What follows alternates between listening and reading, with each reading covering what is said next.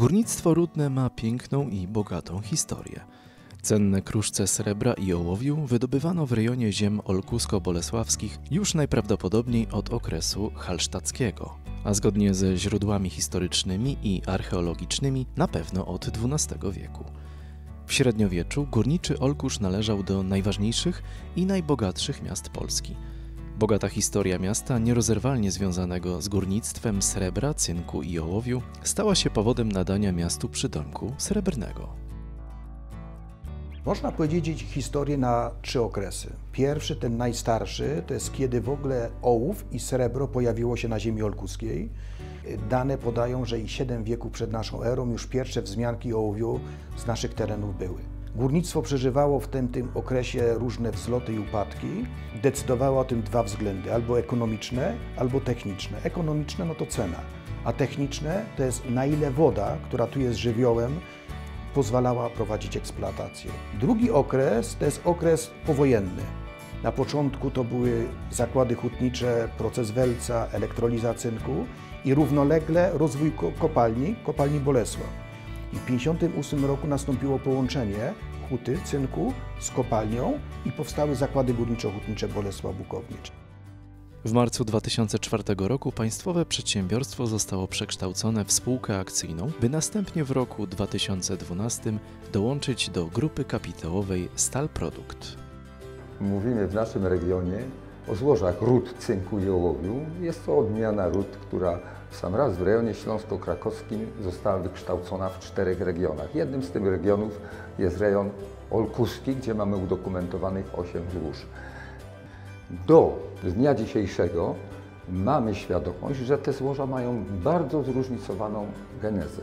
Pierwotni badacze uważali, że to złoża są typu osadowego. Były jeszcze teorie, które nawiązywały również do pewnego pochodzenia magmowego tych roztworów. Niemniej jednak mamy świadomość, że coś, co powstało 135 milionów lat temu, zalega w utworach triasowych wieku około 200 milionów lat, a nawet w utworach dewońskich wieku sprzed 400 milionów lat.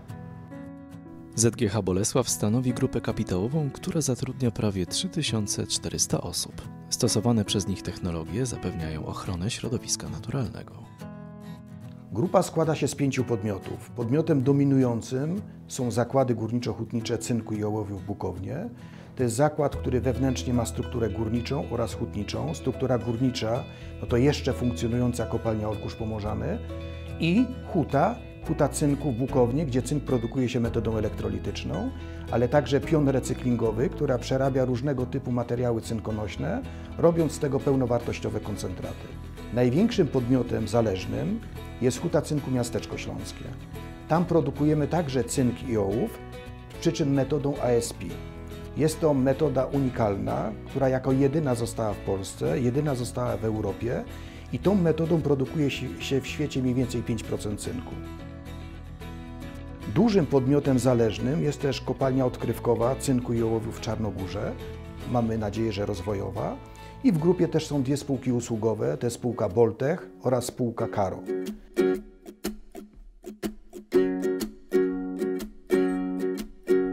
Cynk jest pierwiastkiem bardzo pożądanym, powszechnie stosowanym.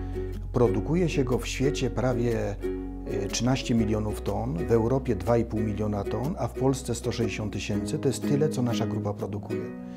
I cynk jest sprawdzonym, pewnym materiałem do zabezpieczenia stali przed korozją.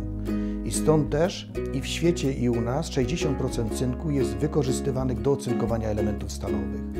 I te elementy stalowe to są konstrukcje, to są blachy samochodowe i też blachy, którymi dachy kryjemy. I to jest podstawowe główne y, zastosowanie. Ale cynk sprawdził się też z dodatkami niewielkich pierwiastków typu aluminium, nikiel jako stopy. Często to są stopy albo do ocynkowania, albo do odlewania. Odlewania, czyli robi się różnego typu gaźniki, klamki, y, zawiasy, czyli tego typu rzeczy.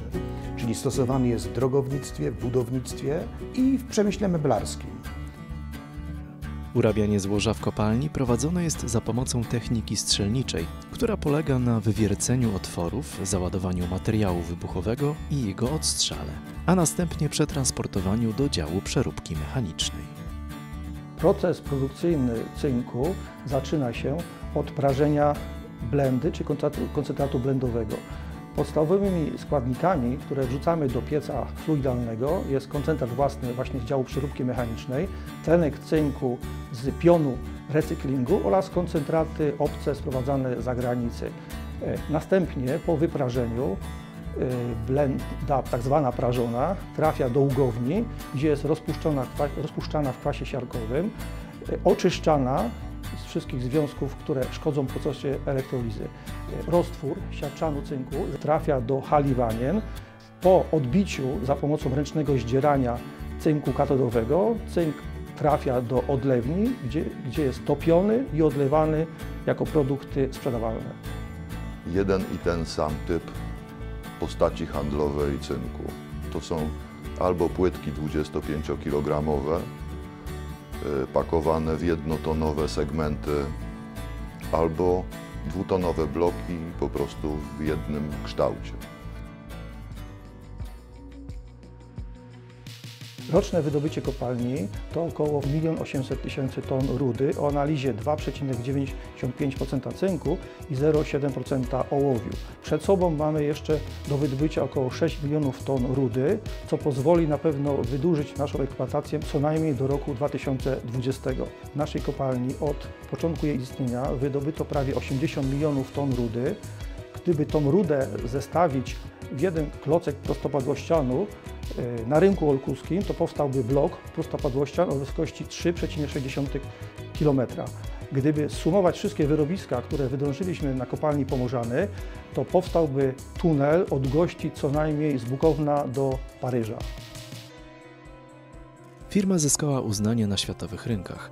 Wytwarzany cynk jest zarejestrowany na londyńskiej giełdzie metali, w której znajdują się tylko najlepsi producenci. Cenę cynku ustala giełda londyńska.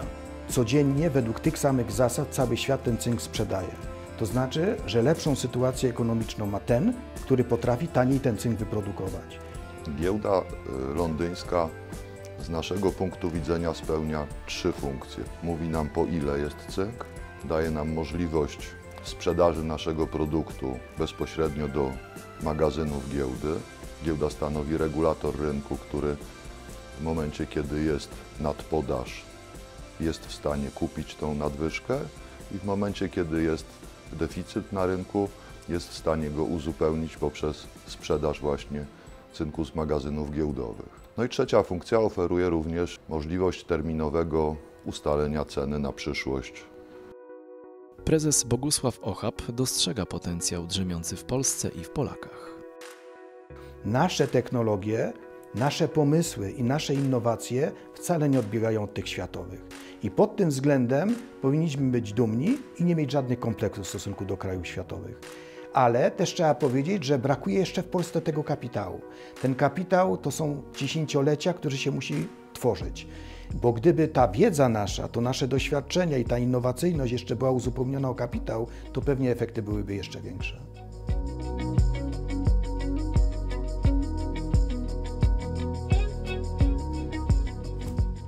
Eksploatację ród często utrudniała tu woda, zalewająca chodniki wydobywcze i wyrobiska górnicze. Pomimo tych trudności, wydobycie w tym rejonie trwało blisko 600 lat. Obecnie prace prowadzone są w rejonie kopalni Pomorzany, która jest ostatnią tego typu kopalnią w Polsce. Państwu jeszcze przypominamy, że nasz program można zobaczyć też na stronie kraków.tvp.pl oraz mobilnie w aplikacji TVP Stream.